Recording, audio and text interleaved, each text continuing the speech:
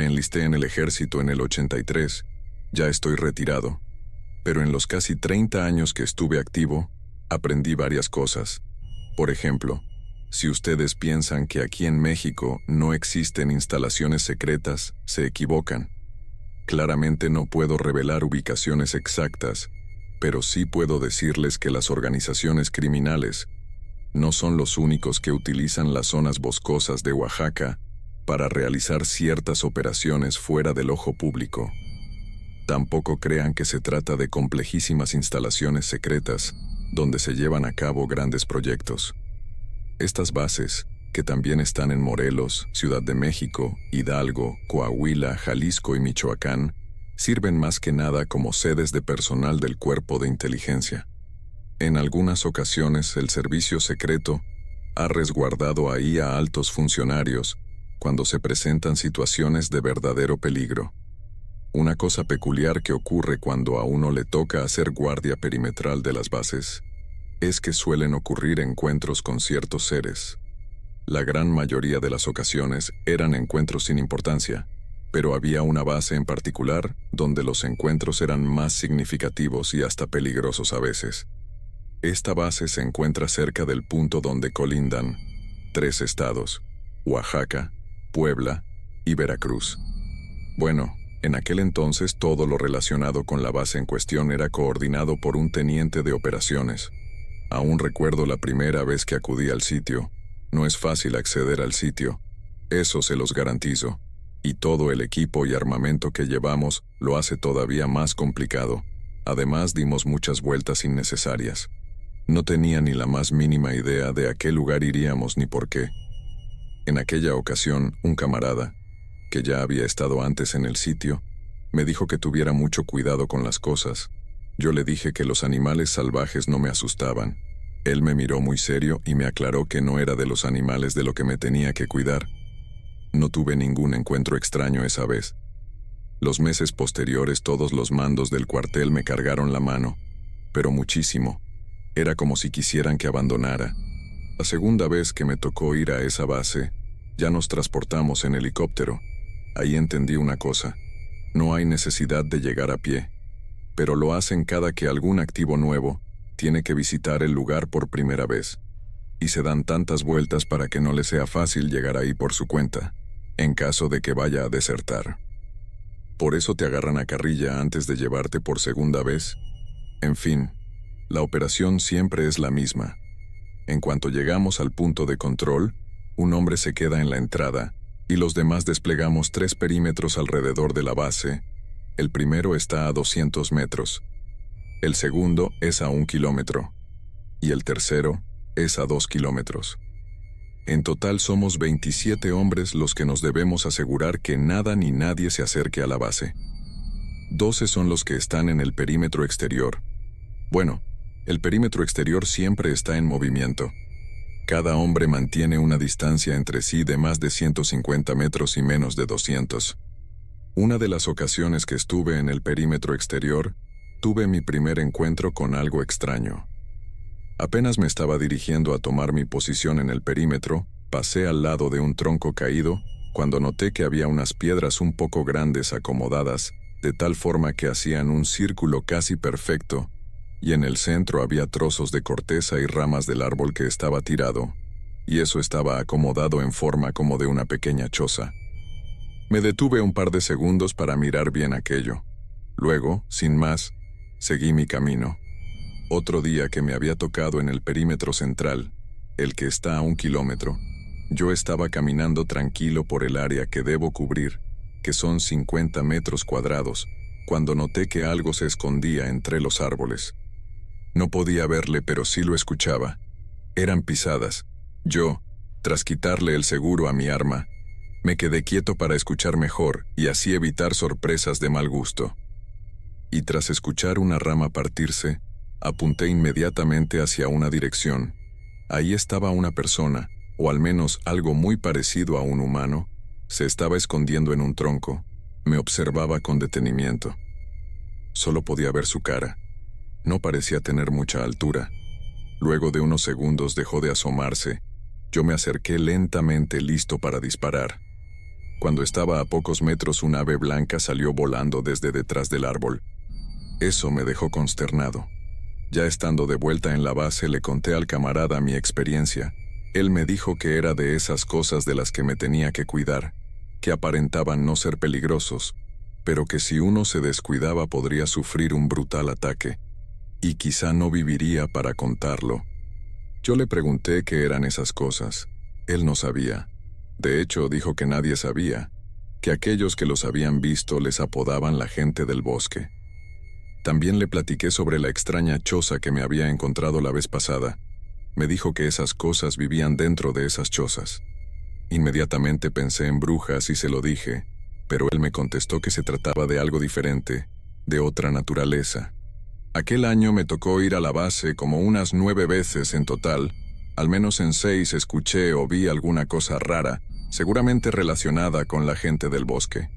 Algo curioso es que nadie habla de esto, ni entre nosotros mismos. Nadie nos dice que no podamos contarlo. Al menos a mí nadie me lo prohibió, por eso accedí a narrar mis experiencias. Pero cuando alguien intenta sacar el tema durante la comida, o en algún otro momento, se puede sentir como el ambiente se pone tenso y nadie quiere seguir con la plática. Es como si quisiéramos fingir que en el bosque no ocurre nada raro. Lo más que llega a ocurrir es que cuando alguien dice, oye, yo vi esto o escuché lo otro, le responden, así yo también, pero hasta ahí, eso es todo. No se intercambian opiniones. En fechas posteriores me tocó escuchar bastantes veces una especie de risa, quizá llanto, no lo tengo claro. Sonaba similar a una hiena, pero hasta donde yo sé en aquella zona no hay hienas ni de chiste. Así que lo que yo estaba escuchando era a la gente del bosque. De vez en cuando yo le preguntaba a algún camarada si también había escuchado las risas, y casi todos me dijeron que sí. En una ocasión que fuimos a pie, ya alguien iba por primera vez, nos encontramos con una escena bastante inquietante. A los pies de un árbol estaban los restos de lo que posiblemente había sido una fogata. Había restos de ropa por aquí y por allá, pero lo que más llamaba la atención eran las cadenas que estaban alrededor del árbol. Era fácil suponer que una persona, la dueña de la ropa que estaba tirada, había estado encadenado a ese árbol, claramente no por su propia voluntad. Seguro la gente del bosque estaba detrás de eso, Afortunadamente yo nunca sufrí ningún ataque, pero un camarada sí, me consta, porque otro camarada y yo tuvimos que ir a buscarlo cuando dejó de contestar el radio. Lo encontramos tirado, noqueado. Parecía que lo habían golpeado con una piedra o con algo. Tenía una fractura terrible en el pómulo. Hasta un trozo de hueso le había atravesado el cachete. Fue trasladado en helicóptero para atender sus heridas. No pasó a mayores por suerte. Platicando con él, nos dijo que lo último que recuerda es que escuchó la risa extraña, y cuando volteó, había una persona viéndolo desde detrás de un tronco. Luego no sabe qué fue lo que pasó. Cuando uno piensa en bosques habitados por seres extraños por lo general, lo primero que piensa es en otros países, pero aquí en México algunos de los bosques sirven como casa de seres muy misteriosos.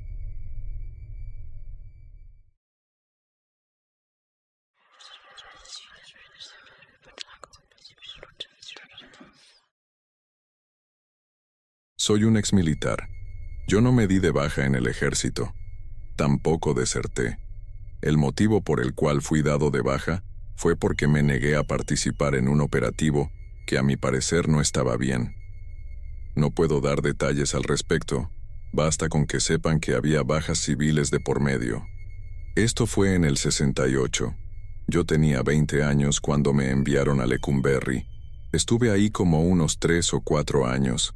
De ahí me movieron a Sinaloa donde estuve más de 20 años, y después fui trasladado a la colonia penitenciaria de las Islas Marías. Cabe aclarar que yo no estuve en una prisión militar, porque no se me juzgó como efectivo del ejército, sino como un preso político. Y al ser preso político, yo no tenía una condena como tal, sino que me iban dando de sentencia en sentencia. Yo llegué a la prisión de las Islas Marías entre el 94 y el 95, más o menos. La colonia penitenciaria era una cárcel muy curiosa.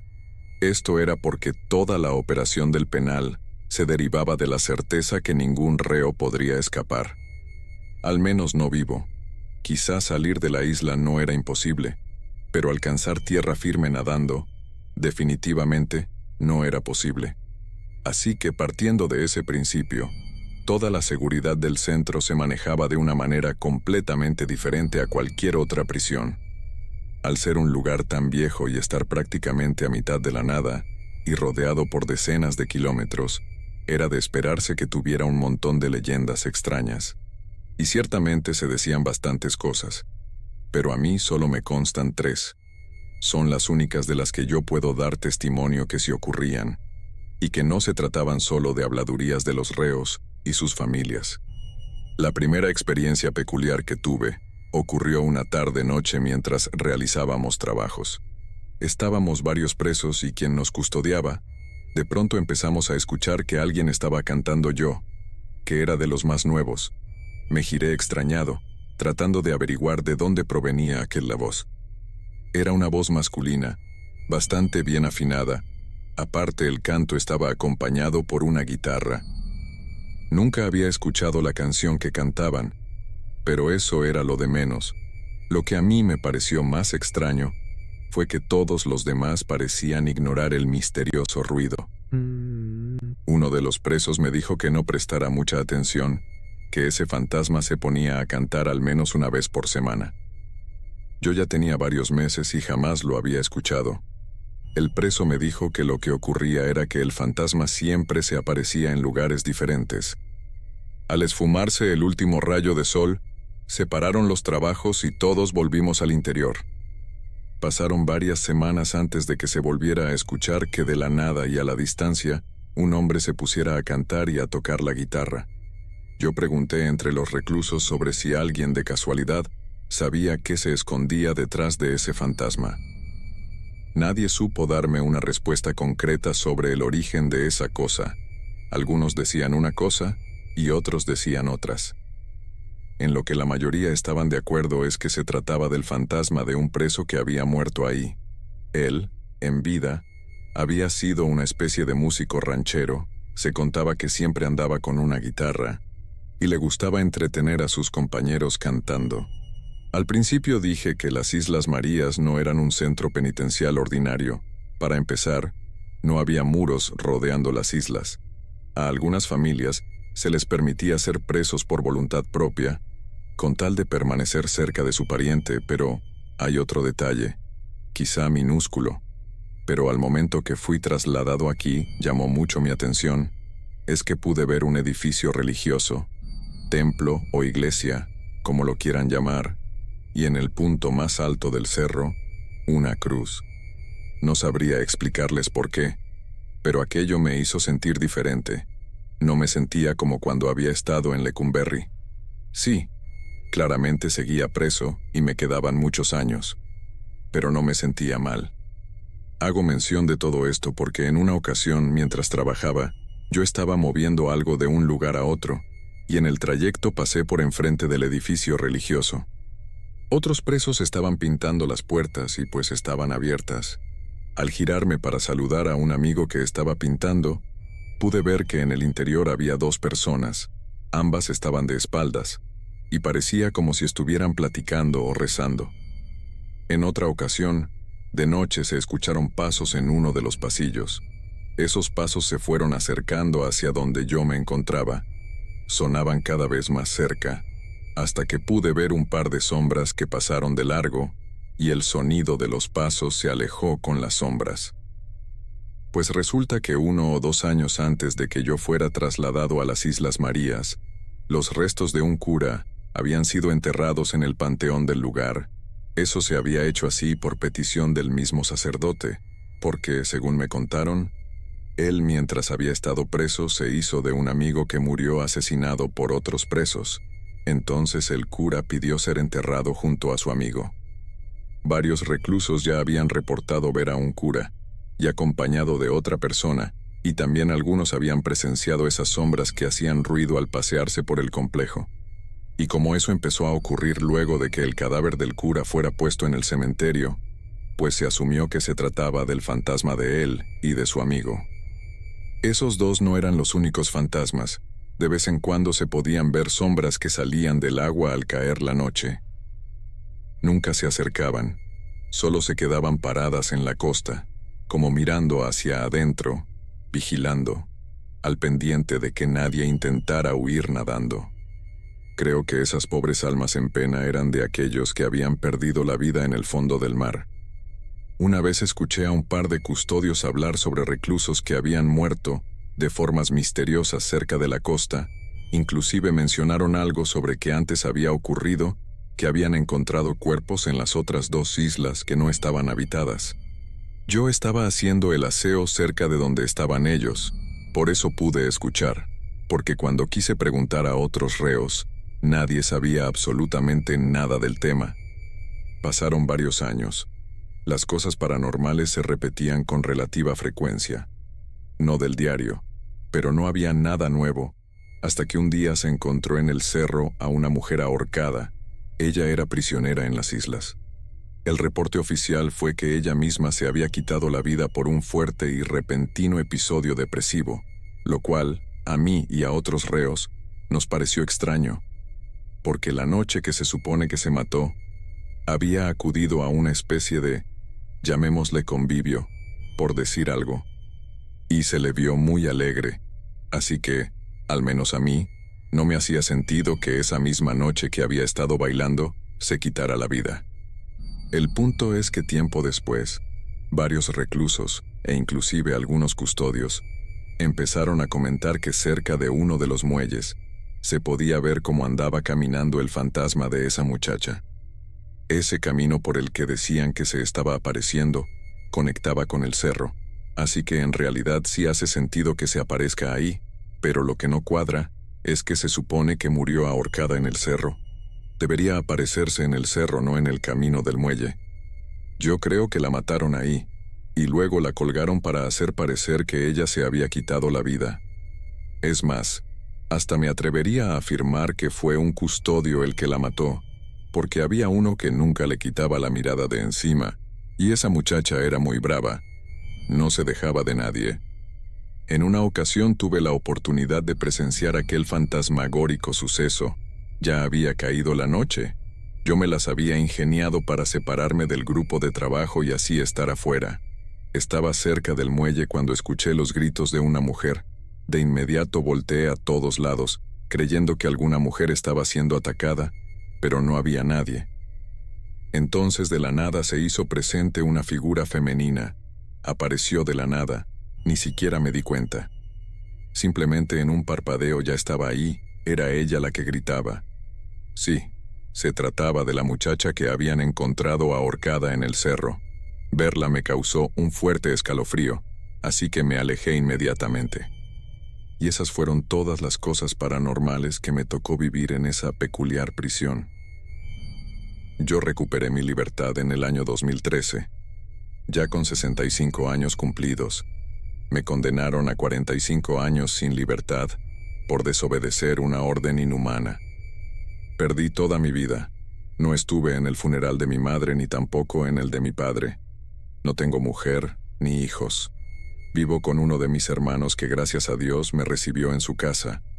De lo contrario, yo estaría en situación de calle.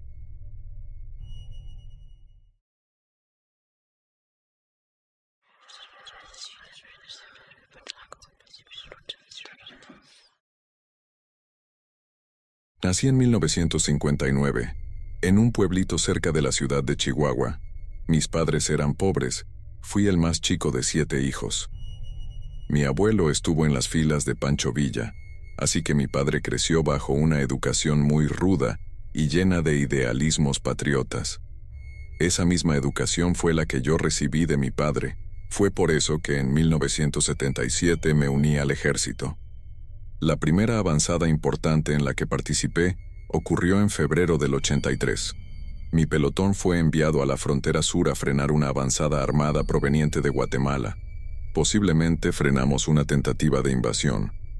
Más o menos por esas fechas las cosas se estaban poniendo color de hormiga con el crimen organizado, tanto que la DEA tenía elementos trabajando en territorio mexicano. También se estaba corriendo el rumor de que sería creado un cuerpo que contaría con una selección de los mejores activos. En 1984 me tocó participar en la destrucción de zonas de siembra y también estuve en algunos enfrentamientos en Jalisco. Se acercaba el Mundial del 86 y México tenía que dar una buena imagen ante el mundo. Pero un año antes del Mundial, un agente de la DEA fue eliminado salvajemente por el crimen organizado. Fue entonces que el gobierno de Estados Unidos exigió que el gobierno mexicano tuviera listo un cuerpo de élite tanto para combatir con eficacia al crimen organizado, y también para que ese cuerpo de élite tuviera el control de la logística y la seguridad del Mundial de Fútbol. De cada mil hombres que aplicaron para las fuerzas especiales, solo diez quedaban. Yo fui uno de los afortunados. Fue así que, en 1986, quedaron instituidas las Fuerzas Especiales de Reacción Inmediata del Alto Mando. Con el paso de los años, los grupos de fuerzas especiales se fueron ramificando y expandiendo mientras iban cambiando de nombre. Durante casi 20 años fui miembro de las Fuerzas Especiales, soy un ex-GAFE, como coloquialmente se dice. Actualmente me encuentro internado voluntariamente en un centro psiquiátrico en un estado del norte del país. Fue la única opción que me dieron para quedar fuera de todo. Es por eso que no puedo dar ningún dato ni medianamente concreto sobre mi identidad. Los nombres de las operaciones que daré claramente no serán los nombres reales. Operación Cadena Montañosa. En 1987, el vicealmirante de la Armada de México, que en ese entonces era el gobernador del estado de Aguascalientes, fue el objetivo de una investigación por parte de la CIA, ya que, presuntamente, el vicealmirante junto con el hermano del, en ese entonces presidente de la República, tenían vínculos con la gente del Golfo. La gente de inteligencia del Estado Mayor Presidencial informó al búnker que la CIA podría estar planeando un golpe de Estado en Aguascalientes, cuya finalidad era capturar al gobernador y hacerlo confesar. Entonces el búnker ordenó una operación cuya finalidad era frenar a toda costa que ese golpe de Estado se llevara a cabo, así que fuimos enviados al interior de la Sierra Madre Occidental para encontrar a la gente que estaba al servicio de la CIA. Cuando nos avisaron que seríamos trasladados a aquella zona, comencé a preguntar entre los activos que ya habían estado en la región, para ir precavido en caso de alguna situación particular. Obtuve respuestas extrañas. Algunos compañeros decían haber tenido encuentros con seres de otra dimensión. Total, nos trasladamos, algunos por tierra y otros por aire. Al sitio en cuestión no podíamos llegar en helicóptero, porque el ruido los alertaría de nuestra presencia, así que el plan era entrar a pie, atravesando la zona boscosa que está en la región noroeste de Aguascalientes, esa zona termina mezclándose con la sierra, la base de operaciones de la gente de la CIA estaba en una cueva, en una zona algo elevada en la sierra. Nos establecimos en una ranchería del municipio de Calvillo. Nosotros estuvimos patrullando la zona por varios días mientras los de inteligencia hacían lo suyo. Yo siempre he sido curioso, me gusta saber cosas, así que, preguntando a los civiles que vivían en los alrededores, me enteré de una muy antigua leyenda. Se decía que tres gigantes vivieron ahí, y que fueron esos tres gigantes los que definieron el destino de toda la región. Luego de cumplir su misión, esos gigantes se tomaron un letargo. Uno de los gigantes se metió a un manantial de aguas termales. Otro fue asesinado con una flecha, y se supone que su muerte fue la que originó que se creara el Cerro del Muerto. Aquella era una leyenda peculiar. Nunca había escuchado algo como eso. En fin, llegó la orden y partimos hacia el bosque. Partimos al atardecer, para agarrar los dormidos. Estábamos avanzando rápido. El aumento en la elevación del terreno no es tan agresiva. Nunca habíamos estado en esa zona, pero teníamos el suficiente entrenamiento como para adaptarnos rápido. Eso sí, el terreno es muy irregular, hay muchas piedras. Hay que estar muy al pendiente de la hierba alta, por eso de los animales que pudieran sentirse agredidos debido a nuestra presencia. Ya habíamos avanzado como por cuatro horas cuando el sargento primero nos ordenó detenernos. Algo nos estaba acechando, podíamos escuchar pasos, algo se arrastraba, también se escuchaban como balbuceos. Lo primero que pensamos fue en una emboscada. Retiramos el seguro de las armas y nos preparamos para repeler el ataque. A lo lejos logramos visualizar varias luces, eran pequeños puntos, parecían focos amarillos, muy brillantes. Nos tenían completamente rodeados, esas luces se estaban acercando lentamente. Podía escucharse algo. Era un sonido curioso, se trataba del balbuceo, que ahora era más bien como un zumbido muy estridente. Yo podía sentir hasta como el aire vibraba. Las luces empezaron a parpadear, como si se tratara de una secuencia, se alternaban. Cuando un par de luces se encendían luego de haberse apagado, parecían estar algunos centímetros más cerca. Yo me estaba poniendo muy nervioso, entonces nos ordenaron abrir fuego. Un par de segundos después, detuvimos el fuego porque no hubo ninguna respuesta a nuestra ofensiva. Todas las luces seguían ahí. No les hicimos absolutamente nada, pero creo al menos conseguimos amedrentarlas porque dejaron de avanzar. Bajamos las armas, nos quedamos quietos, completamente confundidos ante lo que estábamos presenciando. Las luces comenzaron a retroceder lentamente hasta desaparecer. Avisamos por radio de la situación y continuamos avanzando. El terreno se comenzó a tornar más agresivo y había zonas con una inclinación considerable. Continuamos caminando por varios kilómetros más hasta que llegamos a una zona donde ya teníamos que escalar la sierra. Era la primera vez que me tocaba escalar desde el curso de entrenamiento de montaña, así que se me complicó bastante. Logramos llegar hasta la entrada de la cueva, Avisamos a la base y nos autorizaron ingresar. Dentro, encontramos menos de 30 personas, de las cuales neutralizamos a nueve. El resto se rindió. No nos permitieron interrogar a nadie. Las indicaciones fueron que nos quedáramos ahí hasta que llegaran los vehículos aéreos para transportar a los detenidos. El sargento primero nos ordenó revisar el interior de la cueva para buscar cualquier cosa que se pudiera confiscar. Esa cueva era bastante profunda y se podía descender. Yo calculo que nos adentramos como un kilómetro. No había nada, más que rocas, así que decidimos volver, pero cuando giramos, con la linterna divisé unos dibujos en la piedra. Los dibujos eran en verdad raros. Mostraban a tres gigantes muertos de los cuales se desprendían unos seres, parecidos a personas, pero con una particularidad desprendían rayos de sus ojos. Estoy seguro de que esos seres con rayos en los ojos eran las luces que nos habían rodeado algunas horas antes. En cuanto se llevaron a los detenidos, nosotros fuimos trasladados de vuelta a la base en la ranchería. Nos quedamos algunos días más, patrullando y haciendo detenciones, ya que a los que trabajaban para la CIA les sacaron toda la información para poder sacar de las calles a todos los que potencialmente pudieran ser una amenaza.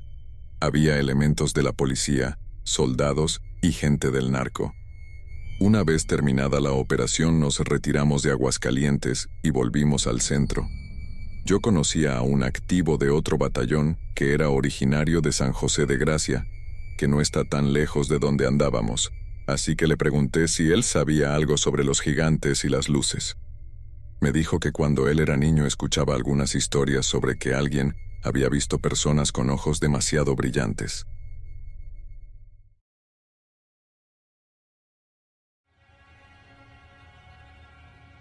Suscríbete y activa la campana para más contenido.